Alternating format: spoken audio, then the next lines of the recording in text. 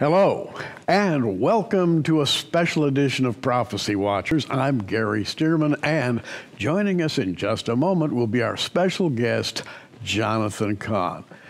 We're going to do something today that we normally wouldn't do. We're going to show you a portion of Jonathan's presentation from our recent last Trump virtual conference. As always, Jonathan delivered a very powerful message that we think you should hear. Unfortunately, due to the time constraints of television, we won't be able to show you the message in its entirety, but we've made it available to you exclusively on our free app and on our website, prophecywatchers.tv. And so, without further ado, here's Jonathan Cahn.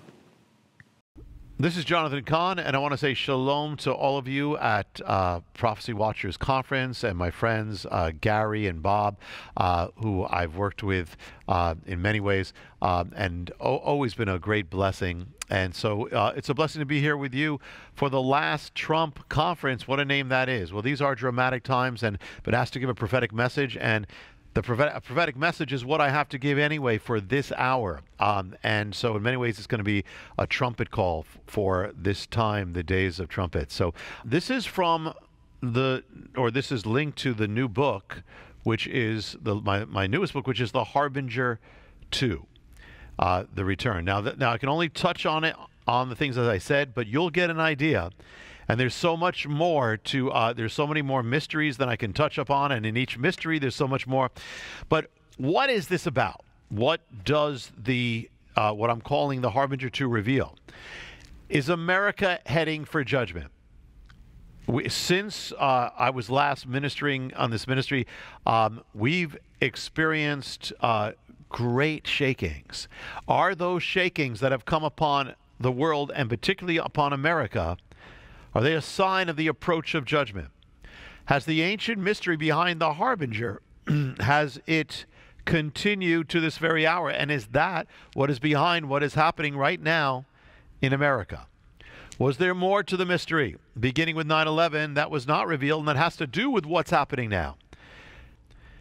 And I felt a strong sense that 2020 was going to be a year of shakings.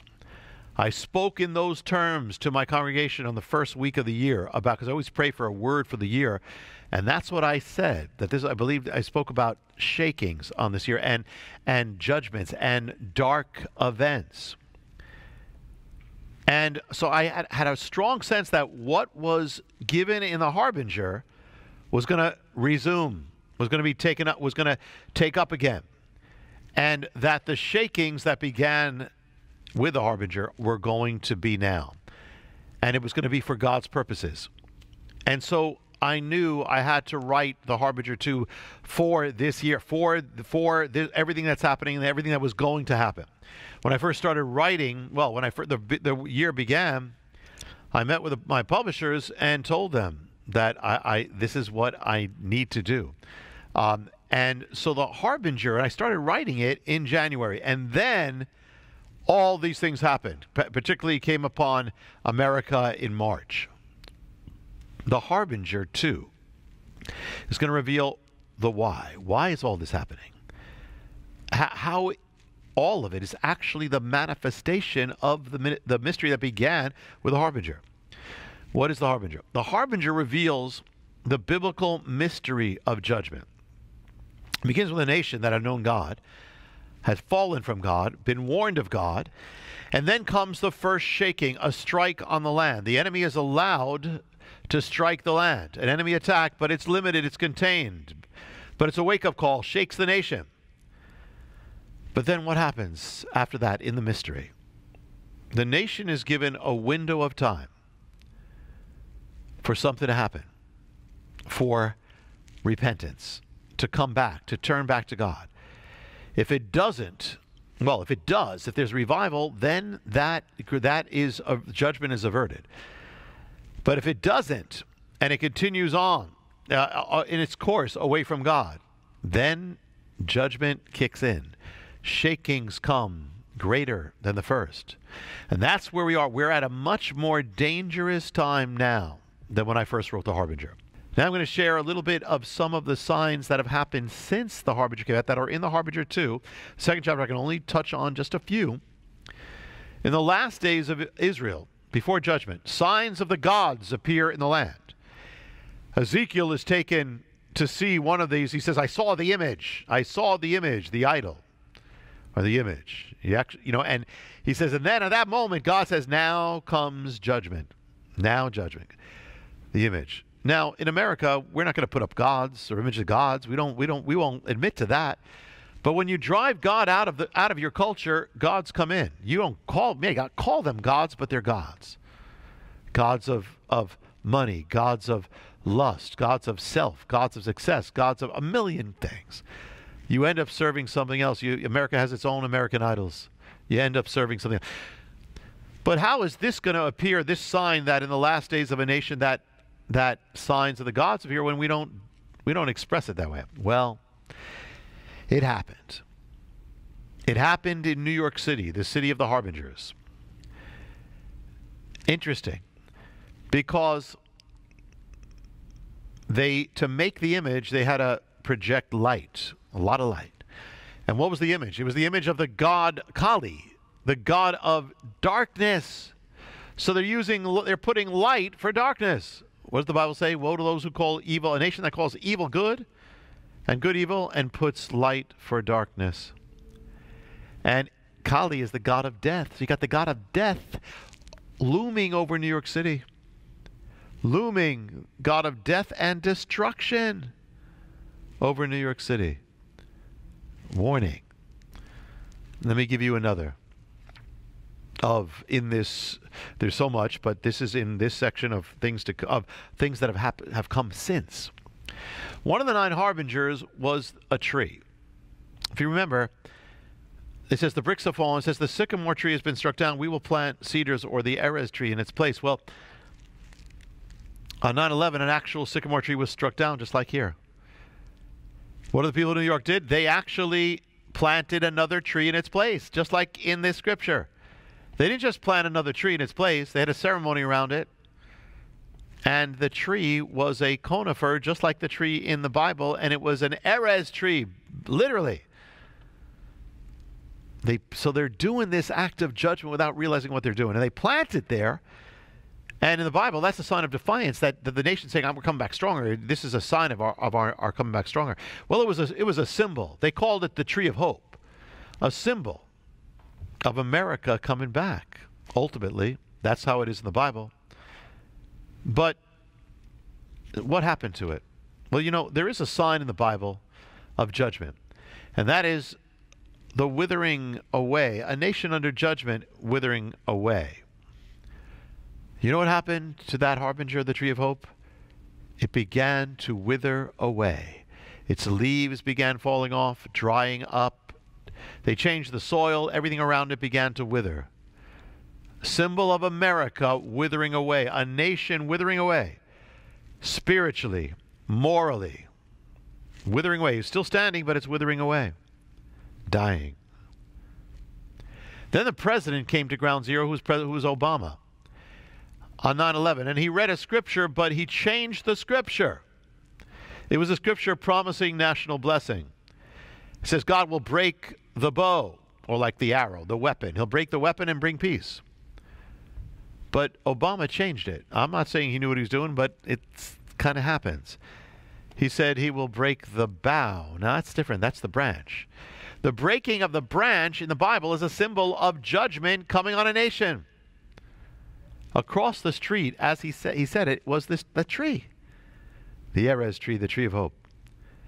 It was withering away, and you know what they did? They broke off its branches.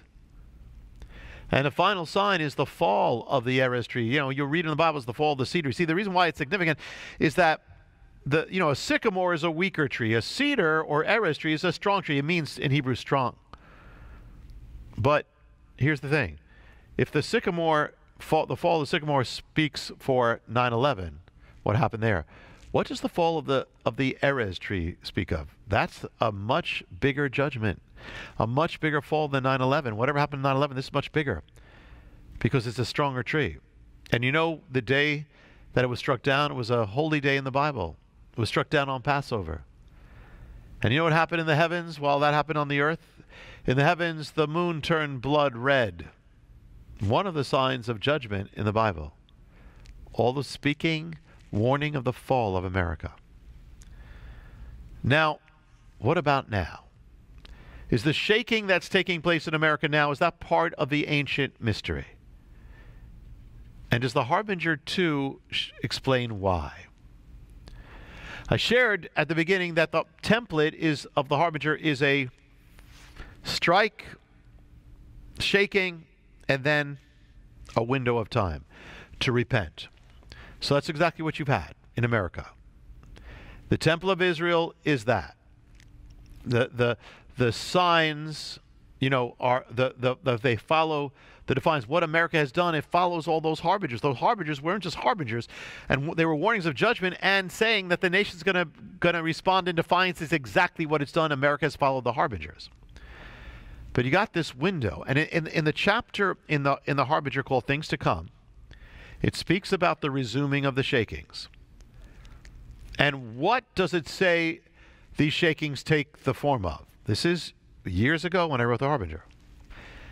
They come in the form of of economic collapse. We've been we've been experiencing that now.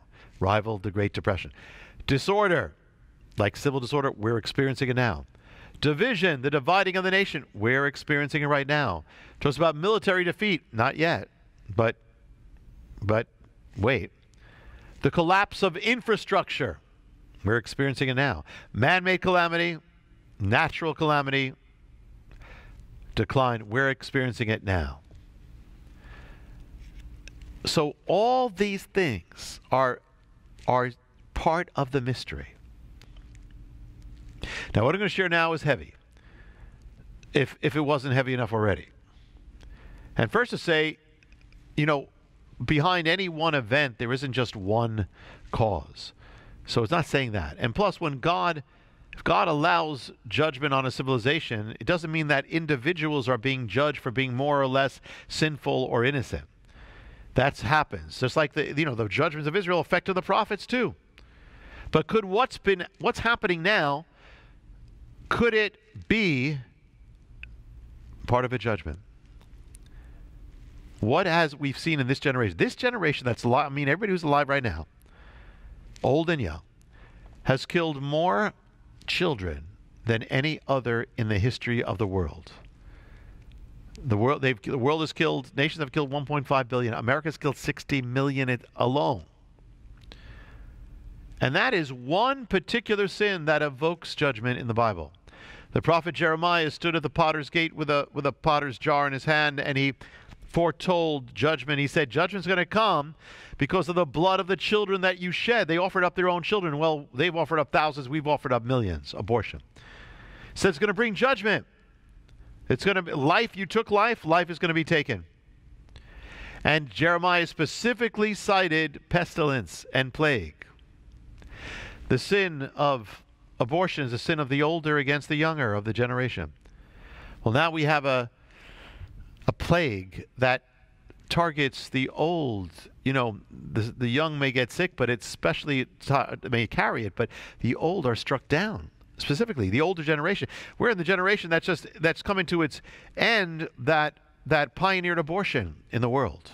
They're the oldest ones, and then all of us who didn't do anything about it or witnessed it or have done it. So now, now, now, what Jeremiah said is the judgment will come back to the place where the children were shed, their blood was shed. Well, what is the center? You know, America has been at the forefront of abortion, helped lead other nations to abortion, and it has killed more than most other nations and kills them later, children later, at later stages than, than nations of the world. But where in America has more blood been shed of children than any other? New York State. So where did this come to? What place in New York? New York City. New York City is the capital of abortion in America. And so it became the capital of the plague. So this thing came. As you have taken life, life will be taken. And so the capital city of abortion became the plague, the capital of the plague. New York. Do you know that that that the majority of cases of this plague that came upon the America came through New York? And do you know where abortion came from? Abortion was legalized in New York three years before the country. It helped lead the country to abortion. It became the capital back then, and, and people came to New York, and it, as the capital, it spread abortion. Now it spreads the plague. And what happened? Well, here's something else. What happened just before all this happened? New York did something. They crossed a line. If you remember, they voted to approve a law that would kill children up to the time of their birth. They denied it, but that's what they did. And they celebrated celebration. They lit up the Harbinger. They lit up the tower, the Harbinger, at ground zero to celebrate. You don't do that. And before that year was over, the plague began. And would come, especially New York, the death toll, even to this day, was, was highest of any place. More, more. It has been at this moment. You know, things may change, but at this moment, it's double the the the next the next thing coming. And New York City, much in that. And it came to the city where you had the god of the of death and destruction. Remember? And now they relit the the Empire State Building during the plague, and they they it was now lit blood red. And the first news that the plague had come to America was in uh, Seattle, patient zero. They found out next day, made headlines all across America, and the headlines had a date next to the headline. You know what the date was? January 22nd. You know what that is? January 22nd is the day that America legalized abortion. And it was one year exactly to the day that New York lit up that tower and celebrated and passed that law celebrating the death of children up to the time of their birth. Now, here it's going to get even more uh, eerie or amazing. Jeremiah gave that prophecy about what was going to happen because of the children, where it's going to happen, the, by the potter's field, Hinnom Valley. And he's standing at the potter's gate, it says. He's holding in his hand the potter's jar. He's going to smash it. It's linked to that, that prophecy is linked to the potter's field. And he says in that prophecy, he says there are going to be so many dead people, they won't be able to handle it. They won't be able to bury it. You know what happened in New York? There were so many people dying that they couldn't handle it they shipped off the unclaimed bodies to an island. The island, they buried them there. You know where they buried them? In the place they call Potter's Field, the very place that was named after the place that Jeremiah is standing standing on as he gives this very prophecy.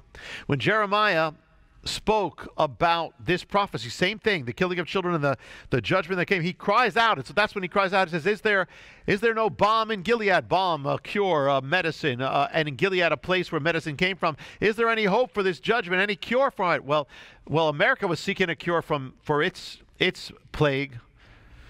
And one company came up with it in the spring, came up with a cure. It was a minor, you know, a little cure, it seems, and but the stock market went up 500 points. That's how big this news was.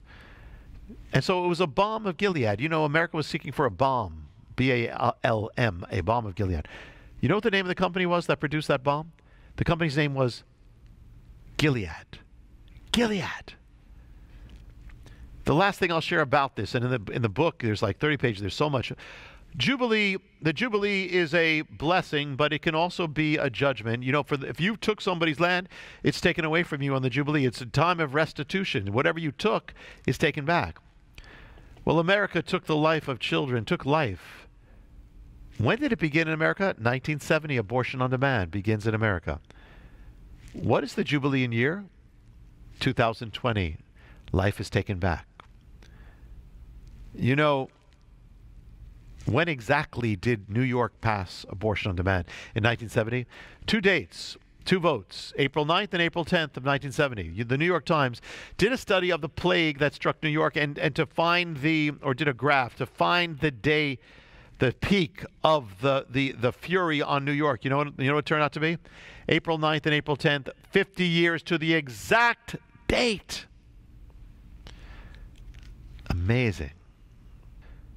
God told Moses to tell the Israelites, go inside your home, stay inside with your family, don't go out, stay safe, because a plague is passing through the land. That was Passover. It happened 3,000 years ago. Never happened again. But until 2020, first time ever in 3,000 years, the people of Israel are told by their government go inside your house, stay inside your house, stay with your family because uh, there's a plague passing over the land. They told them to go in at 6 o'clock, could only come out in the morning. You know when they did it? You know what day it was? Passover. So here they are celebrating Passover about staying in their home, locked in their home because of a plague, and here they are in their homes because of a plague. You know, we have a culture that has rejected this faith, turning away from it. This, this faith in Jesus is a Passover faith. He died when? On Passover. But now God brings it all back, allows it to come back. And what is the center of Passover? The Lamb. What's the answer to the plague? The Lamb. God is calling us back, our attention back on the Lamb. And you know, the Passover in America was celebrated more in New York, New Jersey than any other place. New York, you know, you know, and I said, you know, you know when the, the plague reaches peak and then started and then passed over. I already told you the dates: April 9th and April 10th. You know what they were? April 9th was Passover, and April 10th was Good Friday, which is another form of Passover. The started passing over. All about the Lamb. The answer is the Lamb.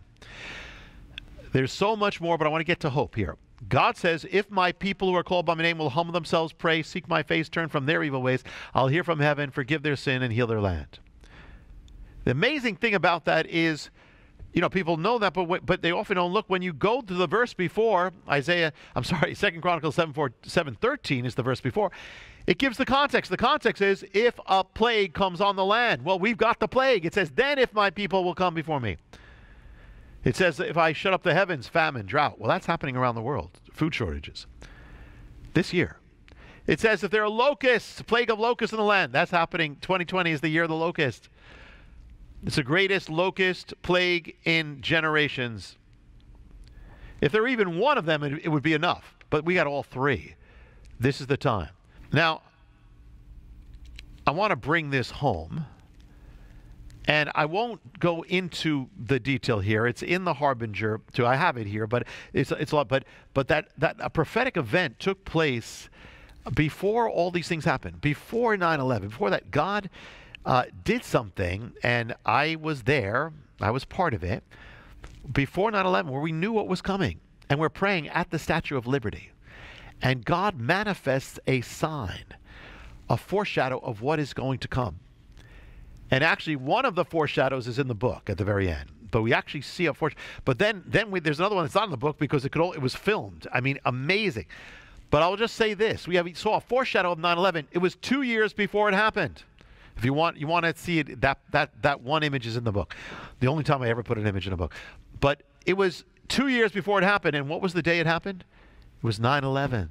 It was September 11th. We were praying because we knew a terrorist attack was coming two years before. And God manifested this at the gate of America, the image of what was going to happen. But it was also the Feast of Trumpets. And it was 9 11. 9 11 was the Feast of Trumpets. I believe 9 11 itself was as the Feast of Trumpets. You know what the Feast of Trumpets is?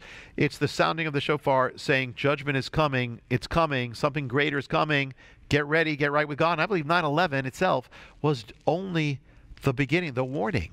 The, that something of something greater.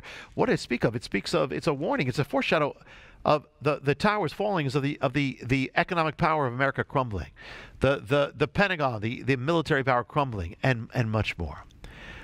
I can't say more with that except that that I want to get this where we to to to bring it home. But if you don't have the Harbinger 2, you need to get it. I'm not saying for that. I don't need to promote. I don't need to. I don't need. But this is something that the Lord really impressed that this this word has to go out now to God's people and beyond. But God's people, we have to know. We need to pray as never before. We don't can't just hear about prophecy. We need to be about prophecy. And by the way, you can get the Harbinger 2 everywhere, anywhere, online, everywhere it's there. And give it to people, to others who don't know the Lord or others who are, need to get woken up, waking, you know, the true woke in God, or get saved, or, or, or know the signs of the times. We need to pray as never before. We need to be in repentance, not just we we can't if we're praying for revival, we better be living in revival. And you can only live in revival if you repent. If there's anything in your life that shouldn't be there, you need to get it out of. Anything that should be there that's not, you need to get it in. People see the end times as only darkness, but you know what? It's not just that. It's dark and light. As the dark gets darker, the lights have to get brighter. You have to get brighter. The grays are disappearing. There can be people ask me, is there going to be calamity or revival? And I often say that I've always said there, there can be both. You can have calamity, shaking, judgment, and revival. In fact, sometimes we only come to the Lord because of shaking, and we've reached a, a, a point in America that's grown so so deafened to His voice that it's taking uh, it's going to take a shaking. But we need to be ready. We need to be shining when it comes. We need people to be looking to you. We need to be living for God as never before. This could be our greatest hour.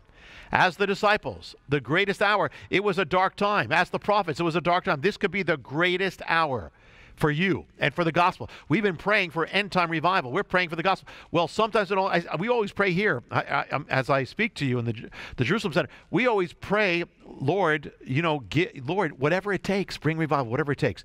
The dark gets darker. Well, then it's time for you, the, the light of God, to get brighter. So it was for the Lord. So it says, the eyes of the Lord search the entire earth, looking for the one whose heart is completely His. He'll He'll show Himself mighty for that one. You be that one. You be that one. Do whatever you have to do. Get rid of what you have to get rid of now. Get into your life what you have to get into your life now. It is time. It is now. The time is late. It's our time as well. It is time. As the Lord says to you, arise and shine, man of God. Arise and shine, woman of God. For your light is come, and the glory of the Lord is risen upon you. Darkness covers the nations, deep darkness covers the peoples but the Lord shall rise upon you. Amen. This is Jonathan Cahn saying, Be strong, stay strong, and be strong, and shine and rise, for your light has come. Shalom. Everyone loves a good mystery, and so many of these wonderful mysteries lie deeply embedded in the Hebrew Scriptures, just waiting to be revealed. You've heard about just a few of these mysteries today, but there are many, many more revealed in his new book and exclusive DVD collection, only being offered through a few select ministries. We'd love to send you Jonathan's new book, Harbinger 2 The Return, for your gift of $30 to the ministry, which includes shipping and handling anywhere in the U.S. In addition to the new book, Jonathan has produced a wonderful DVD set for our ministry eight DVDs in all, which covers far more ground than he's able to include in the book. Yes, even more mysteries. 63 chapters to be exact. This uncensored DVD collection allows Jonathan's passion and concern for America's future to shine through. We'd love to send you this valuable resource for your gift of $60 to the ministry. Once again, that includes shipping and handling in the U.S. And as we always do, we've created a special discounted package for you. The book and exclusive DVD set come with several special bonuses a copy of The Paradigm, along with a companion audio CD and a live conference presentation that had people standing on their feet, anxious for the return of the King.